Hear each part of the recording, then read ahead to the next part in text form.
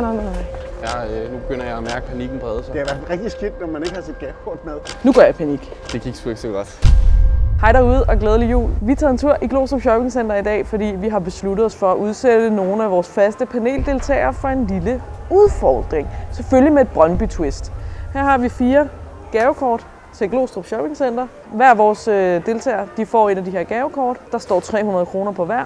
Så har de 15 minutter, hverken mere eller mindre, til at løbe centret tynd og købe de bedste blågule ting. Temaet er simpelthen Brøndby. Når alle har været rundt 15 minutter og fået købt øh, deres blågule ting, så mødes vi her igen på Espresso House og kigger på, hvad folk har fundet ud af. Det hele det bliver udladet i en konkurrence sammen med Glostrup Shopping Center, hvor hovedpræmien også er et gavekort på 1000 kroner her til centret. Så skal vi ikke bare få sendt dem øh, afsted? Startet de 15 minutter. Er vi i gang? Det er op til dig, lige snart du starter uret. Vi tager det roligt. Tag det stille og roligt. Vi kører. Jeg tænker, øh, at vi, vi starter med at gå en tur i, øh, ned i Tøjeksperten, fordi øh, der er julefrokoster, der er juleaften. Vi skal se, om vi kan finde et, øh, et grimt, rigtig flot, måske blåt og gult slips. Det er planen. Jeg er ikke typen, der bliver stresset. Hvad er strategien? Øhm, ja, hvad er strategien? Jeg, øhm, jeg er jo den eneste kvinde, så jeg tænker, at vi skal i Matas. Okay, så øhm, nu går jeg den anden retning af de andre, fordi at, øh, jeg har en idé om, at Føtex vil være det bedste sted at gå hen. Du vil i hvert fald Jeg, ikke Føtex. jeg, jeg, jeg har jo kun en backup-plan, øh, som jeg ikke engang ved, hvor vi skal hen. Så øh, jeg skal lige lade mig inspirere. Der er jo også øh, lidt at vælge imellem. Du er ligesom Zornigat, du er bare omvendt. Du har kun en plan B. ja, præcis.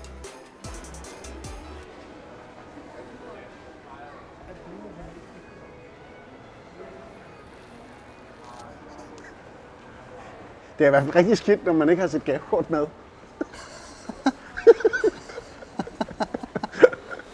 Ja, tiden trigger.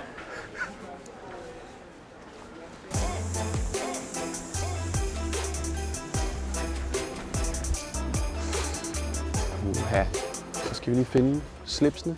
Og slips herovre. Bum. En blå butterfly måske. Til 200 kroner. Det er næsten for tidligt, var. Nu ved vi, den er her. Så er der et slips her, der både er lidt blåt og gult i. Det er faktisk meget fint. Så er det bare, hvad det koster jo. Der er ikke nogen pris på. Det er sådan et tidspunkt, hvor øh, en god gamle far, han ville sige, at hvis der ikke er pris på, så er det nok gratis. Øh, det er det nok ikke. En blå og gul butterfly her. Den koster 300 lige ud. Ved du hvad? Den ved vi er her. Den holder vi lige, øh, den holder vi lige åben. Nu går vi lige over i Alstrøm og ser, om der er et eller andet. Noget gimmick, vi kan finde. Fordi én ting, det er måske for kedeligt. 300 kroner kan jo trods alt række, øh, række et stykke vej. Det er en meget stor butik, mange varer, derfor er der større udvalg for at finde Brøndby tingene. Det kan være, at jeg begynder at være lidt impulsiv på en øh, måde her, at gå ind her, fordi at, øh, de har da godt nok mange ting herinde. Hvad er det her? Det er sgu ikke så Brøndby-agtigt, det der. Det, det ved jeg sgu ikke, hvad er. Den der, den er ikke helt dum. Den, den, der, den, den, den synes jeg faktisk er rimelig Brøndby-agtig, øh, i forhold til det der med gul og blå, det er grøn. Øh, så derfor kan vi øh, videreudvikle lidt på, hvad vi selv er. Øh, måske ikke lige så basic, som øh, hvad de andre måske vil gå efter. Jeg tror, den bliver svær at forklare en grøn diamant. Se, Det er meget Jan Bæk-agtigt selvfølgelig. Der er måske noget der. Ja, den der, den er fed. Den er god. Jeg tænker, Brøndby, øh, vi er ikke en arbejderklub, men vi er Vestegn. Vi arbejder hårdt for tingene. Den kører vi efter, den der. Tag mit gavekort. Fordi, prøv her, der skal ikke kun være sådan nogle drengeting. Der skal også have nogle pigeting. Okay, der er lidt lang kø herinde. Det er måske, det, det er, øh, det er lidt en bet. Det kommer ikke til at ske det her. Der er for lang kø i Matas. De er for mange kunder. Så er vi nede i plan B. Så får jeg lidt stress. Nu får jeg lidt stress. Direkte i skoforretningen. Hvad? Hvad koster det? Ah, de er for dyre. Så jeg går i alle pigebutikkerne. Tænker ikke, der er nogen af drengene, der har været her. Tiden går. Hvad jeg må finde på noget andet? Hej. Hej. Kan jeg få taget nogle øh, pasbilleder? Ja. Det skal gå hurtigt. Det kan Vi er under tidspres. Det kan vi sagtens. Går du til en anden fotograf, Nana? Undskyld. Jeg såret. Jeg tror, hun er dygtig, hende her. Kan man selv vælge farvebaggrund? Eller skal det være en Det bestemt? skal være hvid. Okay. Yes. Sådan. Hvad, hvad koster det? 118. Fedt, mand. Yes. Vi kører. Det er ikke selvtillid, du mangler. Tag et billede af dig selv som gave. Der er Brøndby på jo. Jamen, jeg kan godt lide det med øjnene lukket. Så lad os tage det. Det skal ikke bruges til et pas. Bare roligt. Jamen, vi skal så lave et til jer. Ja. det er fedt. Det er godt. Glædelig jul. Tror jeg, man kan købe en leverpostejform herinde? Det vil være godt til en Brøndby-fan. Altså, jeg har jo snart brugt 5 minutter, og jeg har ikke engang været inde og orientere mig ordentligt.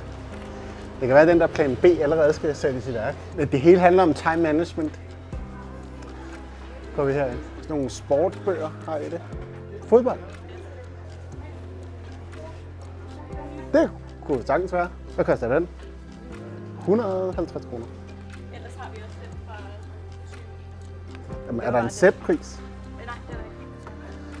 De er alle pengene værd. De er, De er alle alle, pengene pengene værd. Okay. Specielt Jamen, tak for er det. flotte.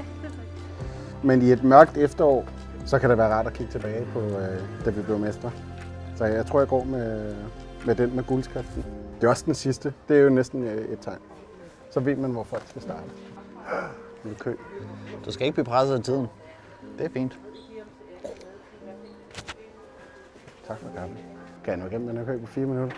Jeg har fire minutter til at købe den her bog. Må jeg komme foran dig? Det tror jeg ikke, du kan nå, hvis folk skal have ind. Det må jeg spørge mig op. Hej. Jeg har 3 minutter og 43 sekunder til at få købt den her bog. Må jeg komme foran dig? Jamen, jeg tror ikke, du kan nå det på den tid. Jamen, det, men det er jo det, jeg finder ud af, hvis jeg kan prøve mig frem. Jeg prøver at... Hej. Jeg har 3 minutter og 30 sekunder til at få købt den her bog. Må jeg komme foran jer? Tak skal du have. Nu er vi her næsten. Stærkt arbejde, det der. Kan ikke springe over. Det kan man ikke. Det må man ikke. Det kan man ikke. Jeg tænker ud af det blå, fordi at det er Vestegnen. Hvad drikker vi på stadion? Vi drikker øl. Altså, det nu spørger jeg bare, er du gammel nok til at købe øl?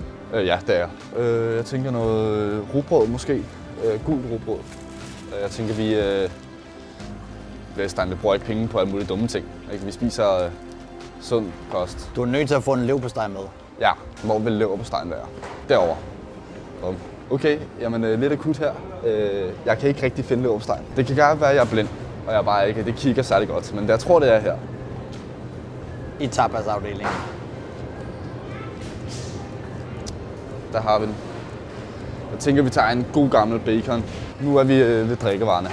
Hvad drikker vi på Vestegn? Vi drikker bare. Jeg tager sådan en her. Det er sgu bare det, den skal være på. Ja, det var jeg rigtig klog. Det var vane. Tænkte ikke over det. Betalte jeg med mit eget kreditkort. Jeg tror, det er tiden, der presser mig, og presset fra, øh, fra Thijs, der står med et kamera i ansigtet på mig. Vi kan finde en, øh, en riskover for øh, vores gode gamle, nu tidligere cheftræner. Det kunne måske være meget sjovt. Jeg ved slet ikke, om det er noget, der findes længere. En riskover til 199. Så er der 100 kroner at løbe på. Der kører vi sgu med. Og det Måske er godt. Undskyld. Ja, tak. fornemt. Tak. I lige måde. Hej. Lad os gå i Føtex. Altså. Måske skal der faktisk være nogle ris også at koge. Måske en juleøl eller noget den dur. Må man give det? Må vi give det? Jeg ved ikke, hvor, mange, øh, hvor gamle de er, dem der kan tage imod det her. Ah, men vi er på Vestegnen. True. Der er ingen, der dømmer. Ris. Ris, ris, ris. Der står ris her. Den kører vi med. Hvad man er mest til, om det er basmati eller øh, hvad vi kører med. Jeg tager basmatien til 28 kroner. Din der er økologisk. Uha, nu begynder jeg, øh, nu begynder jeg at mærke, øh, mærke panikken brede sig. Men altså, man kan jo selvfølgelig altid bare igen. finde nogle øl. Der er bare, jeg gad godt, der var nogle juleøl, ikke? Nej, det er saftvand. Det gider vi ikke. Nu tager vi nogle gode øl. Så øh, må vi skide på, om det er jul. Prøv at se her.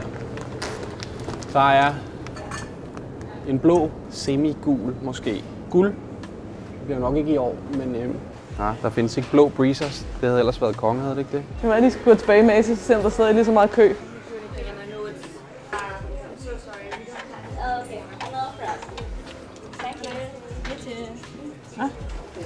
Hvor mange kø? Hvor mange kø der er der? Se, hvor hurtigt det går. Det gik lige så godt i starten med sådan godt flow. Det bliver en meget kedelig video, det. Mig, der bare står i kø. Jeg er for høflig, Jeg kan ikke springe over, mig, fordi jeg har tidspres. Sådan to. Og en pose. Ja, præcis. Tak lige måde. Jeg skal lige regne.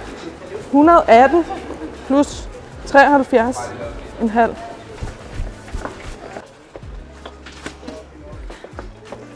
Men det kommer ikke til... Har 10 sekunder. Tæller det, at jeg står i kø nu? Ej, så køb. Tiden går nu. Jeg står, jeg er klar. Det tæller. Dommeren siger, okay. Puh. Nej, nej. Tiden er rendet ud. Er du tilfreds? Nej, jeg synes, det var lidt... Øh... Jeg brugte simpelthen for meget tid på at stå i kø. Jeg er typen, der står i kø. Jeg springer ikke over. Det kostede at være ordentlig. Men jeg synes faktisk, det gik godt. Jeg fik øh, lige orienteret mig over, over, hvad der var steder. Havde nogle idéer inden, så jeg synes, det går rigtig godt.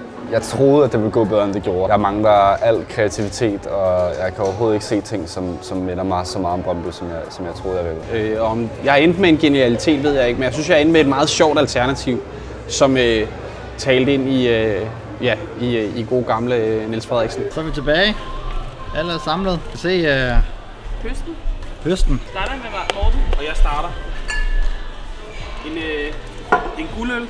Øh, der er en blå en også. Okay. Lauetrup.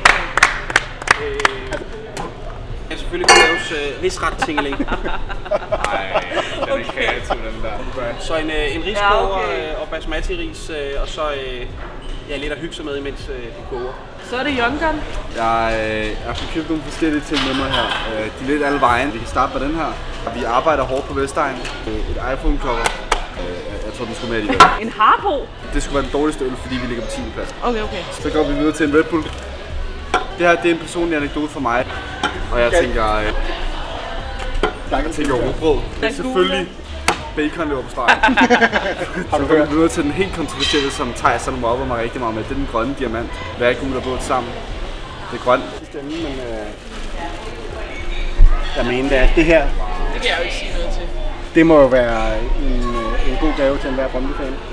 Og først ville jeg egentlig bare nøjes med den ene, fordi jeg også gerne, der skulle være noget andet. Så var tiden så presset, der blev lang kø, så i køen besluttede jeg mig for, at så skal jeg have dem begge to. Og så var der sørme weekendtilbud på 20% på det hele. Så øh, der kommer også lige en, øh, en orange trøje med i, øh, i posen. Ricky eller fedt? Hvad størrelse? Det er noget, jeg ikke tjekke. Det er en størrelse medium, og jeg siger bare style Niels. Jeg leverer en skuffende præstation i dag. Så ender jeg øh, hos en øh, fotograf, hvor jeg fik taget et billede af mig selv. ja, Til det kvindelige publikum. der var Brøndby tøj på. Men så gik jeg ind og købte det, jeg oprindeligt ville have købt til de kvindelige things.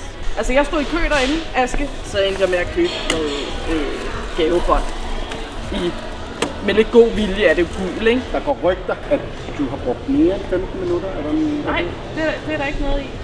Okay. Er det køtid? Men det kan du, det kan du bevise, ikke? Jo, jo, det har vi jo på tv. Okay. Så er der også øh, hovedpræmien, fordi øh, nogle af de her er selvfølgelig lidt bedre end andre. Jeg ved det gerne den der riskoger. Jeg kan sgu ikke finde ud af at koge ris. Men øh, øh, der er et, øh, et gavekort også på 1000 kroner til øh, Glostrup Shopping Center. Til jer, som har overgivet sig med det her. Glædelig, Blåjul. Præcis.